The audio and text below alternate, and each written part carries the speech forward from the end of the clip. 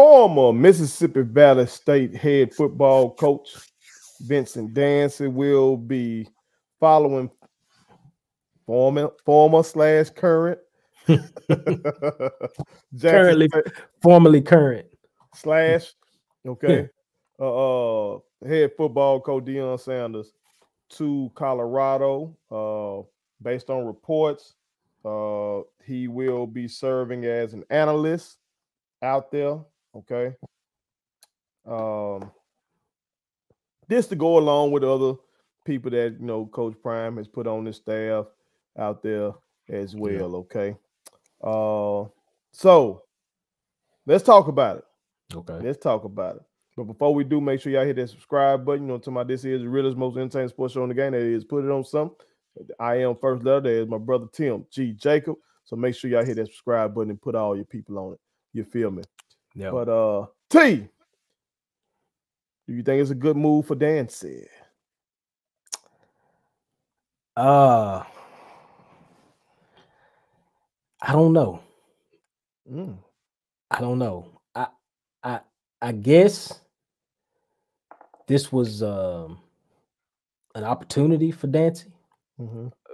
based upon the fact that uh and I, and I do believe Dancy has done some some stuff on like uh, the NFL level. He kind of tied in with some NFL uh, camp workout type stuff, some kind of coaches thing. But he was one of the ones that was invited um, to do one of those things. So, so Coach Dancy, in some people's eyes, is like one of them guys that, hey, you know, if he had enough talent, he could do some things. Mm-hmm. Um, interesting that Prime chose him gave him gave him the opportunity. I, personally was kind of shocked by the fact that he, the brother left. Mm-hmm. Um, very, very much so, very much so. Um, because I thought he was starting to get some things, in a sense, building down there in, in, in Valley. I mean, um, so I, I just was kind of surprised by the move. I don't like the fact that he's going to be an analyst because I'm I, need to I guess I need to do some homework and find out what an analyst does. Maybe somebody out there, a real one, can just explain what the analyst does. Like, are mm-hmm. you kind of like the guy that does the the deep diving into teams and tendencies and uh what they like to do on third and one or what they like to what they like what what kind of formations they usually line up in and those are kind of things you you bring to the staff, you know, week in, week out. But it should it surprised me. I was I was shocked by the fact that he that he left and joined the staff. Uh and I guess that goes to show you that Prime kind of was looking at Dancy going, I, I think he could be an asset to me in whatever way. Um so surprised by the move. I'm glad for him for the opportunity, even though I just don't know if I'd go with with Prime per se. That's kind of interesting. He went with Prime, ran off with Prime, uh, and I don't know what Valley fans have to say about it. I'm sure they don't like it. Um, but it'd be interesting to see where this leads for him for Coach Dancy. Does it does it allow him to step out and get into some bigger roles, maybe as a D coordinator or OC or whatever, you know, I mean that's the thing I'm more interested in is the is the the the, the springboard mm-hmm. for it. I, I don't I don't want to look for him to be coming back to SWAC ball if you're there and you got this opportunity, especially if Colorado becomes successful. So very very interesting move. I I, I was very shocked, kind of disappointed but I guess for Coach Dancy, it, it, was an opportunity that he couldn't pass up. So, you know, just just for him and his namesake, I you know his coaching name, I guess you know. So, mm-hmm. not not the biggest, not the like I said, it was just mixed emotions. Really, honestly, it really was. It was kind of surprising. It was very surprising, but at the same time, I was glad he got an opportunity. Okay, okay. Now I was, I was a little shocked by it, but for a different reason. I've been seeing Coach Prime big Coach dance up continuously. You know I'm talking about? We know that him and uh, Eddie Robinson Jr. over there uh, at Alabama State got a contentious relationship. We've seen him and uh, your boy Coach Maynor have a Mhm. contentious relationship, but we've seen him be hella cool with uh FAMU's coach, and we've seen him be hella cool with Coach Dancy. Mhm. Okay. So I thought part of the coach Dancy thing was, you know, he know that Coach Dancy, uh, Jack State man. He knows the game. I've said it on here before. I was like, yeah, y'all, I'm gonna be watching Valley closely because when Prime leave, you know, back in the time when nobody wanted to believe that shit was gonna happen. But you know, I was like, maybe you know, Coach Dancy could be the one to take over. Right. Yeah. So I thought maybe Prime was saying all that shit, kind of grooming him to come, kind of just keep that thing rolling once he dip out. Right. I didn't think he was gonna snatch the man and take him with him Hey. when he dipped out. hey. So I didn't have that one on my bingo card. I thought Coach Dancy was gonna be one of the prime candidates, no pun intended, for uh for the State job. Right. You know what I'm saying? Right. But uh I saw an interview with Coach Dancy, and he was like, he was like, shit, this really finna be his first time in his life outside of Mississippi. So he want to see what that's like. So that's the kind of shit that I can't get motherfuckers to understand. And I think other people who feel the way I feel or reacted to the shit the way I react to it, we can't get folks to understand that prime situation is different from all these other coaches. Absolutely. Prime, already rich. Coach Dancy does not have generational wealth like that. Now, if I had Coach Dancy check up there from Valley right now, so again, I got numerous businesses that are doing well, but we ain't there yet. I'm starting from the ground up. If I had head coaching money like that, I would have been Gucci. Most I made as a teacher was, I think, 52, 53,000 dollars one year. Mhm. Okay. So if I had what he was making at Valley, my life would be very different. Okay. Right.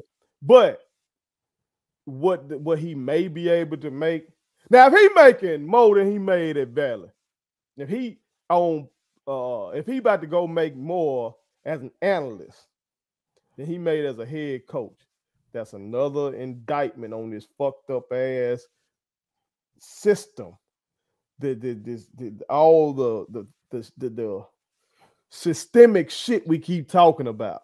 Mhm. Okay, that's just another. But the opportunity that, like you said, that he might can take that analyst shit and flip it and become a, a DC or OC or something like that. You know what I'm talking about? That's different from prime situation. It is. Dancy talking about this the first time in his life he's gonna be out in Mississippi. Yeah.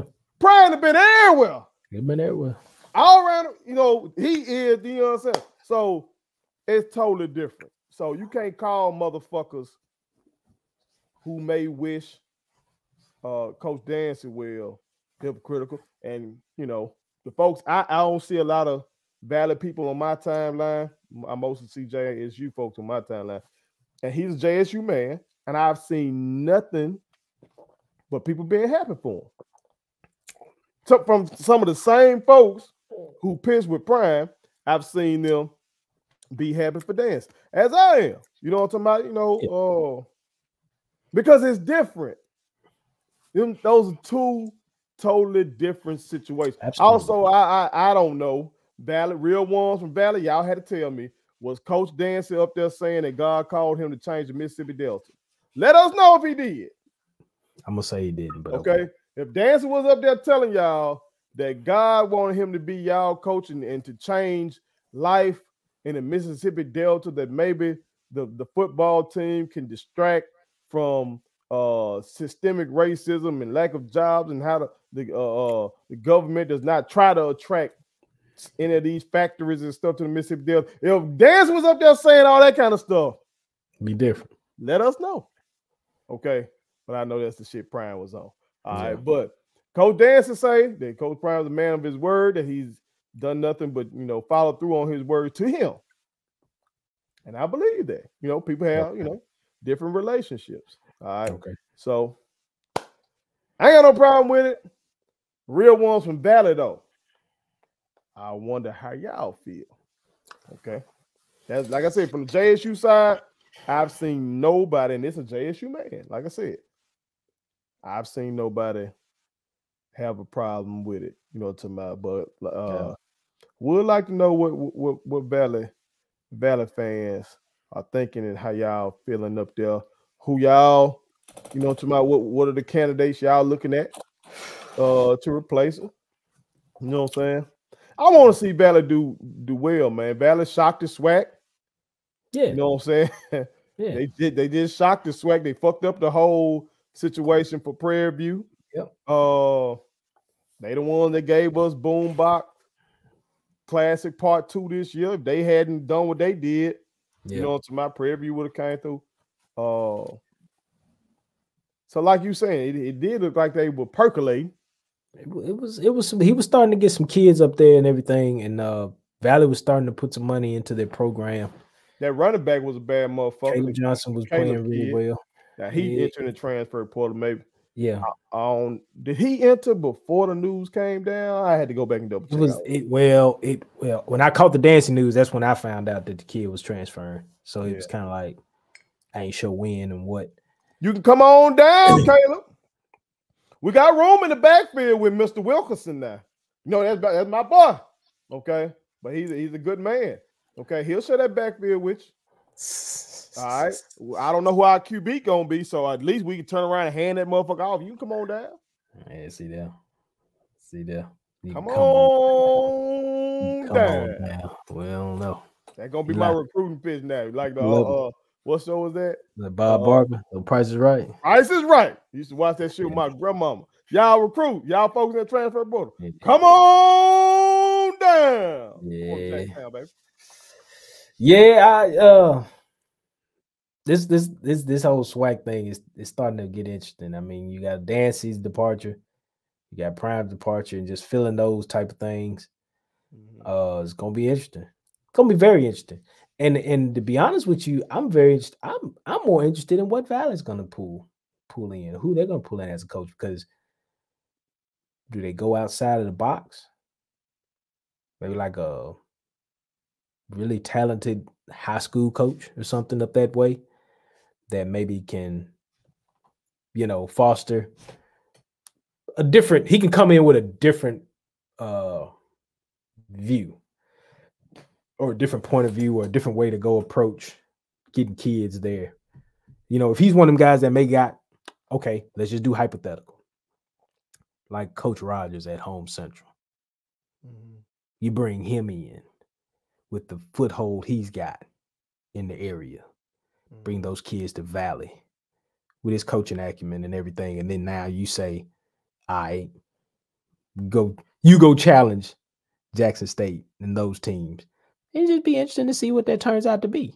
He is another JSU man, and he got college coaching ex- experience. You know, he was an assistant with Jackson State. It'd be interesting to see. You, you and shout and out Coach Rogers. Shout out Coach. hey, I, I I love to see it, man. I love to see more of our coaches here in the state get these kind of jobs, mm-hmm. and and have great success at them. And then if you if you flourish from the next thing, to the next thing you flourish, you ain't promising nothing, but I'm a win. My intention is to win and graduate kids. Hey, I'm good with that. Mm-hmm. You know, and if you win SWAC titles, that's gravy. But I'd love to see some of these coaches here in the state get elevated to positions to where that they can they can get their name out there. And with, with, with Valley, and I just want to put this on record, and I put it on record when I shouted them out uh for that win. Again, people outside the culture don't understand the Mississippi Delta. Mm-hmm. You know what I'm saying? They just hear Mississippi. There's poverty in Mississippi, and then there's Delta poverty. It's, you know what I'm saying? It's different. Shit different. Like folks act like what Coach Prime did at Jackson State, that he did that like at Valley or something. Yeah. You know what I'm saying? Like Jack State yeah. is a blue blood HBCU program. You know what I'm talking about? Blue blood had 16 SWAC championships before he came. Yeah. Okay, before he added them two. So if he had done that at Valley, then you show enough would have been talking in, Jack. Oh yeah. You know what I'm talking about? So to go up there, whoever takes that job, you deal with so much. HBCUs in general lack funds, but goddamn it, Valley show enough. You Mhm. know what I'm talking about? So it, it- it's just tough. But as I've said before, I just got this deep affinity for the people of the Mississippi Delta. Uh, it really shaped me teaching up there. Mhm. Uh, I, I just always love. Hmm. I just always love them, you know, Yeah. and, and appreciate them. So uh, I wish Valley well. Only time I don't wish them well is when they play Jack State University. That's it. All right, you know. So real ones, y'all chime in. Let us know how y'all felt about uh, Coach Dancy taking the opportunity to go out there with Coach Prime. You know what I'm talking about? Let us know for real, for real. Uh, you know what were your thoughts on it for real? Now, uh, did it shock y'all? Um, Surprised me. are y'all feeling some type of way about it? You know what I'm talking about? Do you see it as different from the Coach Prime situation? Uh, also, who do y'all want next? Who are y'all uh looking at to replace him? All right, let us know. Put it on something. Thank you so much for watching my daddy's YouTube channel. Make sure you like, share, and turn on your post notifications. Okay, how do I do it?